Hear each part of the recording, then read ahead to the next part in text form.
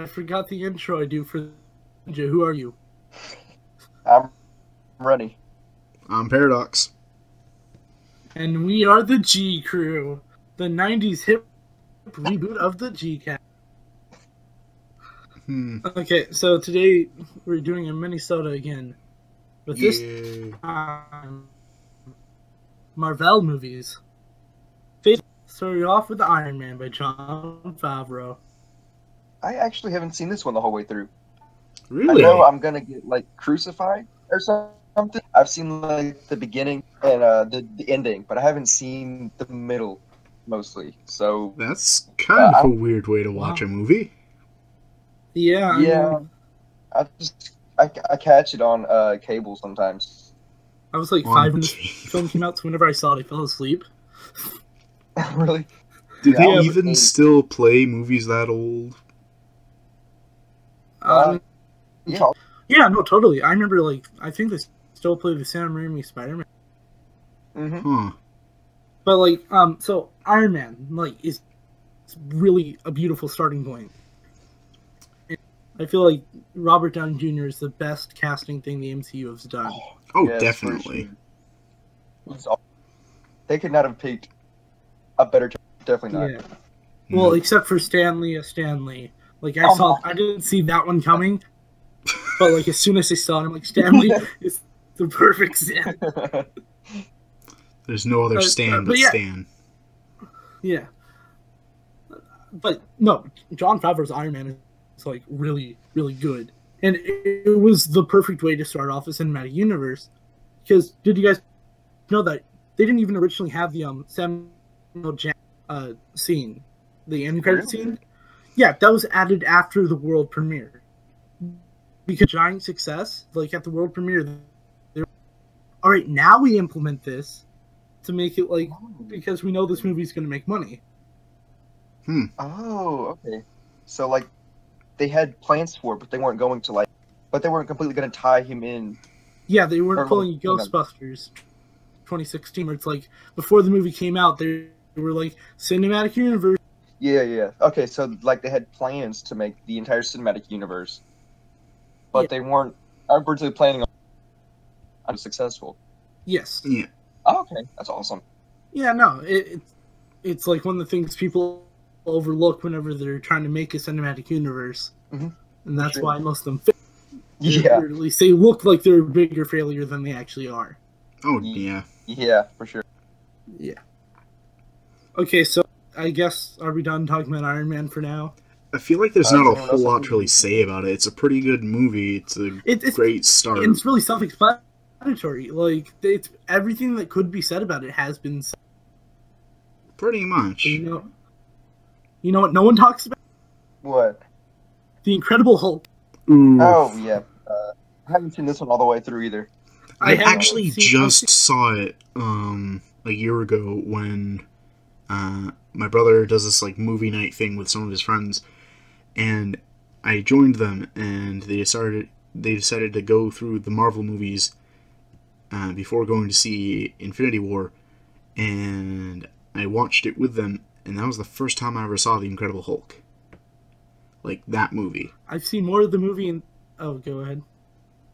No, that was it. Just like that's the first time I saw the movie like last year.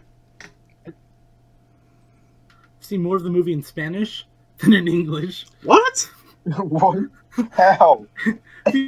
because Cable Network. You know, just like- and like my sister and I were just browsing channels and like we were like, okay, let's just watch this.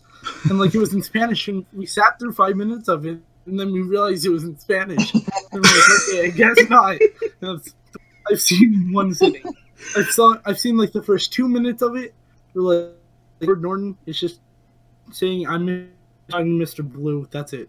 That's So, okay, I've seen all the I've seen all the scenes with the Hulk in it. You know, so like the big uh, the big action sequence with the tank. Yeah, And that's probably the one of the best from- parts of the movie, and there's Yeah. honestly not a whole lot great about it. I mean, Yeah. that's kind of disappointing too because Edward Norton is one of my favorite actors.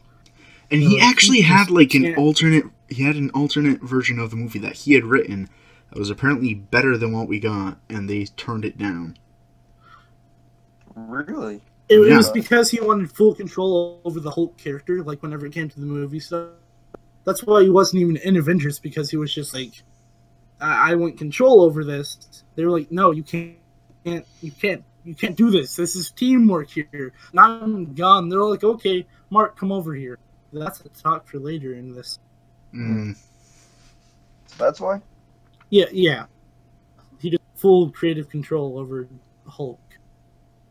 Uh, yeah, I mean that's not really something as an actor you you can't I mean- just. Have a full I mean, you. I mean, I, I don't mind like giving actors some creative control and you know like let them control some things because that's that's still important. You know, like they have the role and everything, but I mean they can't control it fully. You know, Yeah. like that's. I mean, it's a kind of different job. circumstance if you look at like with Deadpool, and that's because Deadpool is so successful that Ryan Reynolds actually had like a lot of creative control in Deadpool too.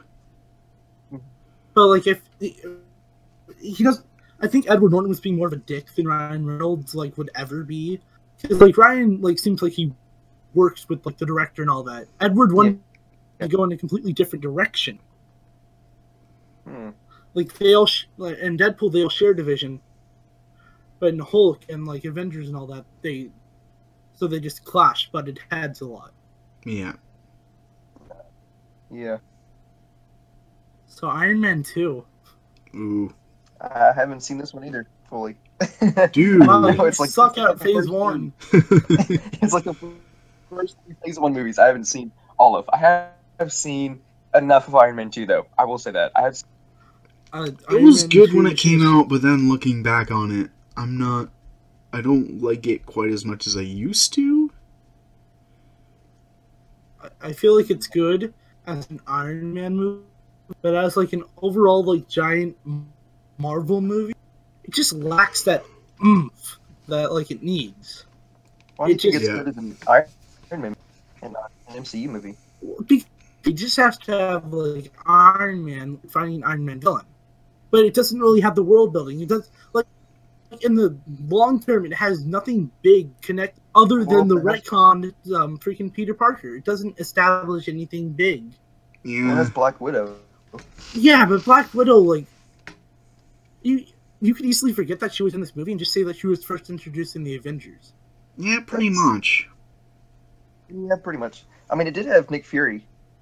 in it, Yeah. It had Nick Fury like- while Tony was like under house arrest. But Yeah. it when looking at it, it like I can point out any other MCU movie and tell you what greater effect this had in like the whole entire MCU. But I can't do that to Iron Man 2. Because the only thing that I feel like it had was just the Peter Parker cameo that was retconned in Yeah, What was? and War Machine. Machine. Yeah, well, yeah, I. I think everybody did. I think Yeah. as far as world building, Iron Man Two tried, but with what it did, it could have gone a little bit further. I think maybe. Yeah. Like, it definitely gets overshadowed by its previous film and the predecessor. Yeah, It's just awkwardly there where it's like they couldn't really explore too much because that's because a uh, cinematic universe wasn't the norm. Yeah. yeah, they really weren't. It was more. Yeah, I, I see what you mean. It was definitely more of an Iron Man sequel than an MCU movie Yeah. because that's. I mean, back then that's what they focused on, and you get into like you get into future sequels, except for Thor: The Dark World. I mean, that has a little bit a connection to MCU, but that's more like a Thor sequel than an MCU movie. But then, but then like other movies like Winter Soldier, um, even even Guardians two, like Guardians two is like it worked for MCU movie as well. I feel. yeah, yeah, yeah, it does it does connect more. But I, Iron Man two, it definitely was at that point where it couldn't do what Cap, the Captain America sequel or Yeah. um, Or Thor I guess what, Ragnarok. I guess what yeah yeah Thor Ragnarok. or Is- Thor is that- Ragnarok as a sequel to the Incredible. Yeah. Pretty much. That's the closest thing we're ever gonna get. Yeah, Yeah. because Universal still has those rights. Speaking of Thor, Thor. yeah. Thor, it's, it's right. It's, it's it's good. I think Thor was I like the it a little bit more than other people did, but it's definitely not one. I think Thor was the first MCU movie I ever like actually watched in theaters where I didn't fall. really? It's 'Cause this also was, like, the only movie seven? that everybody hates purely because of the camera angles. I, really, I Really? honestly don't really mind the cast. I feel like the cast, but like it introduced freaking Tom Hiddleston as Loki. I mean, oh yeah. I wasn't talking about the cast. The camera angles was what I mentioned. Oh Like, yeah, the Dutch, angle angles. of the camera. Like a lot of people hated that because it used it so But much. that, Right. that's mostly just a product of Phase because Phase One really had directors doing what they wanted to do. yeah, Like there weren't any set rules, so they I don't remember the camera angles. What exactly are you talking about? Dutch angles on like there's the camera degree angle, or like a forty-five. it's like where the Very- camera's at a Okay. tilt, so it's like not. Yeah, yeah. It's like And I Yeah, feel I'm- like it, I feel like it works because, if from what I can recall, they only really used it in Asgard. It really created an alien feel to it. I mean, they're used a bit while he's on Earth as well. Another Yeah, thing that people didn't seem to scenes. oh, sorry. Another thing people didn't really seem to like is that while he was on Earth, there wasn't anything interesting to see. They were just kind of in a desert. I feel like Yeah. though comparing to other MCU movies, like a desert's a good mix up compared to New York. Yeah. And like New Yeah. York again, and New York again. Oh look at this New York. the stage again. Like it's a it's at the stage where the MCU is like literally just beginning. Yeah, So you know, if, if they'd used a desert scene in uh, a future movie, like if Thor was in three, it would have worked out in Phase One. yeah. And this one also kind of had the thing where like nothing really momentous happened outside of introducing hmm like I guess the destroyer was like mentioned one like a few times in Avengers, but other than that, nothing really is mentioned of this movie in the MCU. Yeah, So you could just skip this one. pretty much. Yeah, I mean, well, they did have. well, I'm- I, I was gonna say the Tesseract, but that was that was Captain America, so never mind. It was just basically introducing Loki and Thor. And like the whole concept of like otherworldly uh, Yeah. in Earth. Speaking of which, isn't So, Captain um, America next? Yes, it is. Yeah, but it- This one's really Again. small. It's a solid movie. Oh yeah, It's no. definitely the same boat as Thor. It's good, but it's not I have great, to say that it's to like quite a bit better than Thor because, like, it takes Captain America and one makes him kind of interesting, which is a problem people had with the hero before that he was kind of uninteresting. And like yeah. they also kind of parody like his whole creation, where it's just like that's like a propaganda thing, Yeah. and then it's just like, Mhm. oh look, he's literally propaganda. I did like that bit when he was just uh he was just going around on tour with this really goofy costume. It's really goofy comic book And costume. all it was and was the, like uh, a stunt to try and get people to buy mouth. war stocks. Yeah, yeah. I, I, I did like that bit. But Of Overall- course, Chris Evans entering the MCU was really great. Yeah. yeah, Very good. Yeah. What do you guys think of his casting? By like Chris I thi- Evans is America. I honestly can't really imagine anyone else as Captain. Me Definitely not. honestly, like people, yeah, people talk about Robert Downey as Tony Stark as being like the the big great, and you know he is. Robert Downey He's the Jr. best. And if you don't think think Chris that, he will tell you otherwise. Definitely comes close. You can probably make a good argument for Samuel Jack as being one of the best casting. That's because the role was literally made for him. it really Like, was. Nothing against Sam Do you guys Jackson, but he's like a big character in just about every movie he's in. So it's like, hmm But do you guys know the story of the ult of like um the ul- Ultimate Universe's? Uh, no, what about it? So um in the Ultimate comics they need to redesign Nick Fury to fit the Ultimate Universe. So they literally just drew Samuel Jackson into the comic. He was reading. he was just reading the comics one day, and he's like, "Hey, that me." He called up Marvel, and he's just like, "I'll allow you to use my as long as any time you're going to have Nick Fury in the film, I get to play him." I That's think I remember hearing about So- that actually. So like the role is literally built for him. Pretty much, yeah, yeah. pretty much. That. Speaking of Nick Because- Fury, But anyway, about Captain America, uh, story's definitely good. Red Skull wasn't really uh he was he wasn't really important until later on the MCU. but like I, but like the whole movie as part of the MCU is really important because of the Tesseract. Yeah. and it's a That's- really good shake up because it's it's the only movie that he said in the past that I believe is good. Yeah. Really? It's kind of Yeah. more believable than any of the others that we've seen. Actually, And look, it makes Like, sense how many of of- why it needs to be said in the past. yeah. Isn't Uh, there only like maybe one or two others? Just one other. And that's Captain Marvel, Captain uh, Marvel, was it? which we'll talk about later. Yes. Yeah. Um I So don't know. I don't know what I was saying. Never mind. Go ahead. so I guess we're gonna have to mention the big Oh yes. Avengers. Whenever you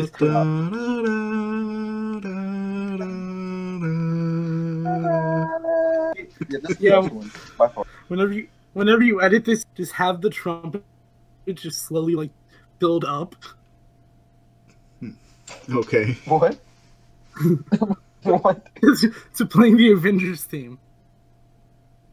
Alright. Anyway, this Oh, no, no contest. Avengers is like one of the best MCU films.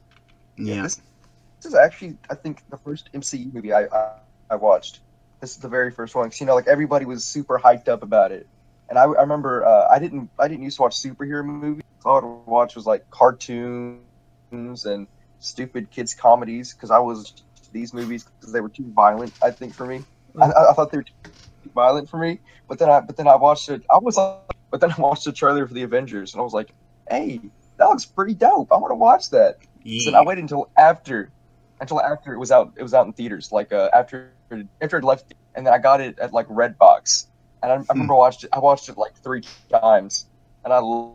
Oh yeah, every like every single time I watch the Avengers, I get goosebumps. Like the scene whenever they're all in the circle just gives me like mm, oh yeah, because like the trumpets are like blaring, and like it's it's something that just works really well. Yeah, Probably it my does. It one does. oh sorry, go ahead. Oh, we Hmm? weren't No. I wasn't saying anything. Oh, I Yeah. thought you were saying something. I was gonna say my problem, my only complaint about Avengers is that they killed off Coulson and made a whole big deal out of it, and then he comes back in the TV series. But that isn't really a problem with the Avengers because I don't think Joss Whedon wrote the TV series. Yeah, I could be wrong. But yeah, I like, mean, he's not back in MCU. Uh, casual audiences won't even know, know about it. So to them, he's still. Yeah, but I, I do see where Paradox is coming because like it makes a lot of deaths just feel like half-hearted. Like No. I remember as soon as like Quicksilver died, he, it was like, okay, when are they gonna bring him back? pretty much. Yeah, Confirmed he's not. Um, like mean- the the Oh, fact that ahead. they the fact that they cheated death with Coulson and like it was such a heartwarming thing just makes audiences not care about death. Yeah. I mean, especially the fair, fact that this franchise can't go on if anybody permanent. Well, aside from Quicksilver, it can't go on if anybody like really permanently dies. Yeah. I mean, do you know in the comics how many like important characters and how many times they've died? Yeah, Superman, Batman Mhm. hasn't died yet. I love how the died. first two characters you mentioned aren't even Marvel like, of characters. No, Batman hasn't died yet.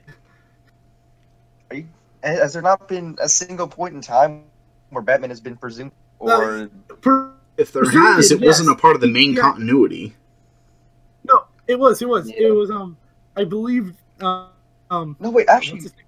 Darkseid shot him with this the Omega beams, but he went back in time. He was just time hopping. He was a pirate, a Victorian era like person. Like he was just jumping throughout so many different time periods, but he wasn't. That's awesome. And- Wait, no, actually, I, I just thought of uh, I, I just thought of one time. Uh, it was it was a comic series where you know Batman and Dick Grayson had to take over as Batman. Battle for the I Cowl. it was was it Tim Drake was Robin or was it Damian? It was Damian. Damian was Robin, the and then whatever. Tim Drake. Yeah, Tim Drake was Red Robin. yeah, and um, and Jason's Red Hood. Uh, Red Hood. Yeah. So Yeah, but anyway, that- Avengers. Okay, yeah, go back to go back to Avengers. We got a little sidetracked, but uh, Good yeah. I've, how many times have you guys seen? I've seen. I think four solid times. Uh, I I just don't watched remember it how many few- times I've seen I it. just watched it an hour ago. So, but it's the only Avengers movie I don't own on like any home video format, Hmm. and, and it really annoys me. Yeah, you gotta get on that soon. I'm But going I've seen to. this movie maybe like, like you know, back back when it first came out in 2012, 2013, when it was hot, everybody was watching it. So I just, I just like, um, I just watch it, and a bunch of people would just turn it on, and we Mm. would sit down and watch it all the time. Oh so I've yeah, seen it seven or eight times. I think I've seen it a lot. it's one of those movies that I want to watch with the commentary track just to see, uh, just to watch everything. Yeah. hmm Yeah, But- it's one of those movies. It's like a really easy. It's a really easy movie to rewatch. Like there's some movies that I just can't bring myself to go back and rewatch again. But the Avengers is like it's really entertaining. Like I can just sit down and watch it pretty easily. and it's not one of those, those films where it's like it's so good that like like I can Avengers from any like point where it's at and like be able to watch it with the same thing. But if I watch a movie really, really, really, really good, like I just love it, I can't watch it just from the middle. I have to watch it from the start to the end.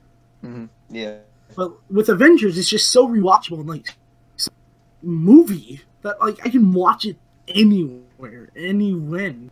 yeah. The So the pacing is really fast. It's it, it's quick pacing, but they they managed to make it really. Uh, they they, they do really good with the with the timing. I Yeah. think. Like like like with all the time that they're given, like in scenes and stuff, they do really good at establishing everything and getting everything they need to to have a complete movie, while at the same time making it really entertaining with a lot of action packed in. Yeah. And I think it's I think it's really. So What were you gonna say, Paradox? yeah.